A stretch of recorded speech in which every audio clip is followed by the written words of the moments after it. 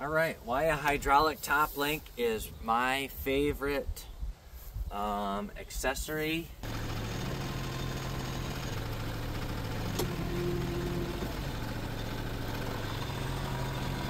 All right, so essentially is what you have is just a hydraulic cylinder and these lines quick connect on this Kubota 2610 SU um, connect quick up to here and this unit was installed by the factory. I had him install it. It was I think a thousand dollars minus the hydraulic and these these lines. In my opinion, I think that was worth it for how much use I get out of it. I use the three point more than the hydraulic um, up front, three third function up front. Probably for every, I don't know, I would almost say 10 times to 1. I have a grapple. I love the grapple. But um, you're, you're kind of using this three-point all the time. Whether you want to balance a load, whether you want to pick up a, um, a box blade and then just tilt it up out of the way.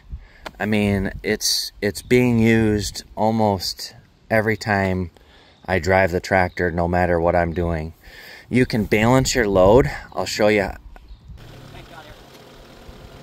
Watch right here when the top of this comes over top of the tractor, making it actually less weight that you have to pick up in the back. So you can balance your load and adjust it by putting the weight closer to your tractor, which which it may bring it over over the center point, actually lightening whatever load you have on the back. And that is a really nice feature um, as well.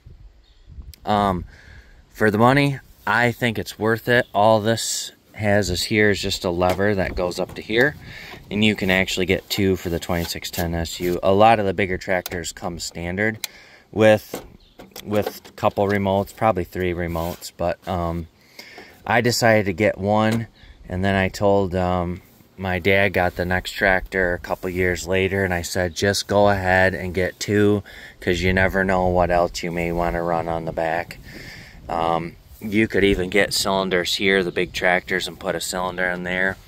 Um, in my opinion, that's, I mean, for this little tractor, maybe big tractors might be nice. If you were doing like a lot of driveway grading um, for someone, that's where that would come in handy like if you're actually making money with grading driveways. But one is i think a must have.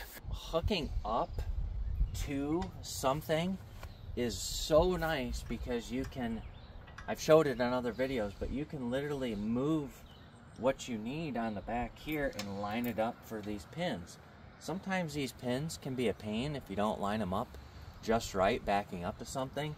And if if all you need is like just to move that just like a half inch or an inch or heck I've even just moved it all like kind of where I need it to with this. Now you gotta be careful you're not pinching anything or anything you know like that but and just for hooking up to different implements is worth it alone. Let not to mention how many different times I adjust it throughout the day.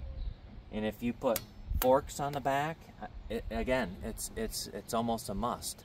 If you're picking up hay bales with the back like this, it's just hands down the best accessory on a tractor, in my opinion. So if you want any questions or anything and I can be any more clear, please leave them in the comments and I will respond to them.